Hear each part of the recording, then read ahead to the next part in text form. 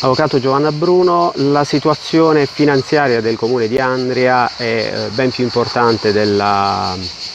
dire, della presentazione del nuovo esecutivo. Eh, qual è la posizione del PD e del, del centro-sinistra? a sì, ehm, la, la, la, vicenda del rimpasto di giunta è a metà tra il ridicolo e lo scandaloso e quindi siccome ancora una volta tutta una questione interna alla maggioranza lasciamo che sia la maggioranza stessa a sbrogliarsela, a pronunciarsi come sta facendo in queste ore. A noi interessa avere uno sguardo attento come sempre abbiamo fatto sulla questione economico-finanziaria dell'ente che è molto grave, lo abbiamo annunciato in tutte le maniere, abbiamo cercato di dare segnali il più possibile chiari ma l'ente, l'amministrazione non ci ha mai voluto seguire e adesso siamo alle prese con ben 140 pagine, forse anche di più, di relazione conclusiva del MEF, il Ministero dell'Economia e delle Finanze, che dopo un'attenta analisi eh, di tutta una serie di indici arriva a sottolineare in maniera inequivocabile che la condizione generale è alquanto preoccupante. Rispetto a questa relazione l'ente ha i suoi 120 giorni di tempo per fornire tutte le delucidazioni, le spiegazioni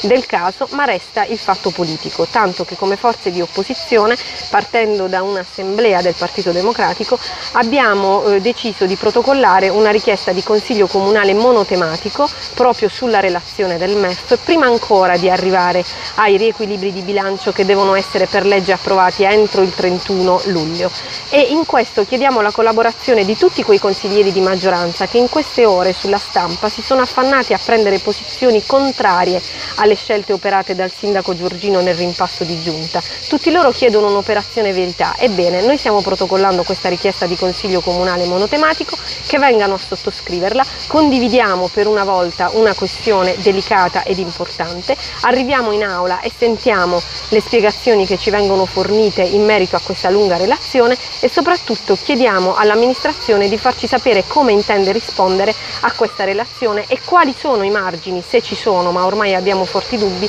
affinché non venga dichiarato lo stato di dissesto dell'ente.